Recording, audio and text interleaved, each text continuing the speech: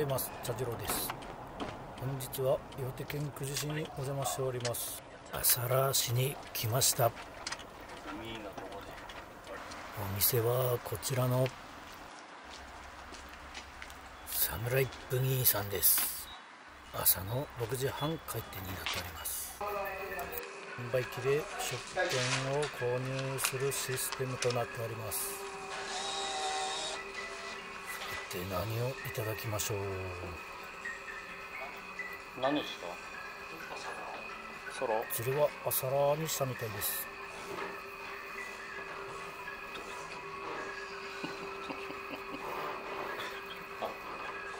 ありました。朝ラ500円。いろいろあって迷いますね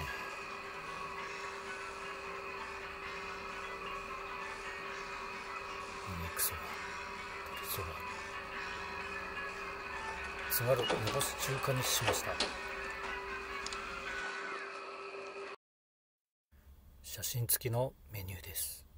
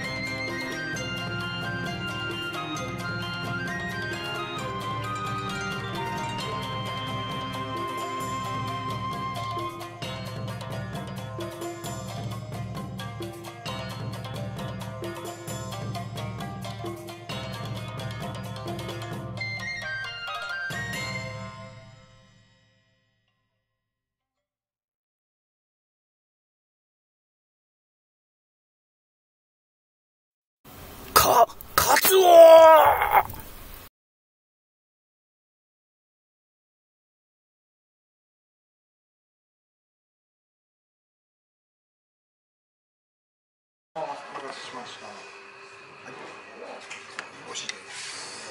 スープパンの後ろ割り方ありますのでご利用ください。ただき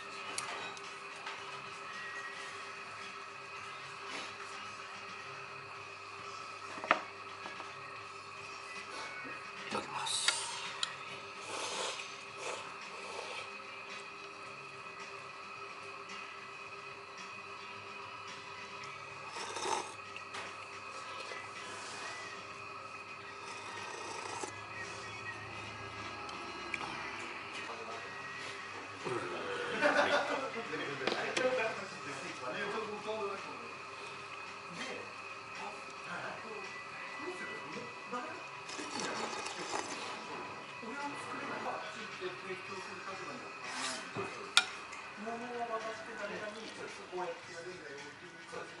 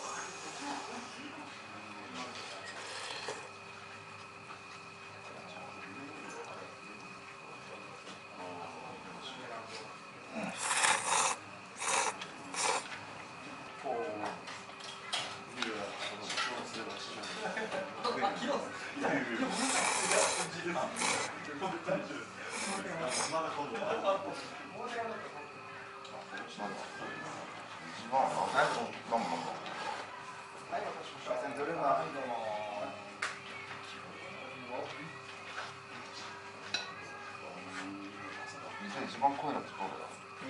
これ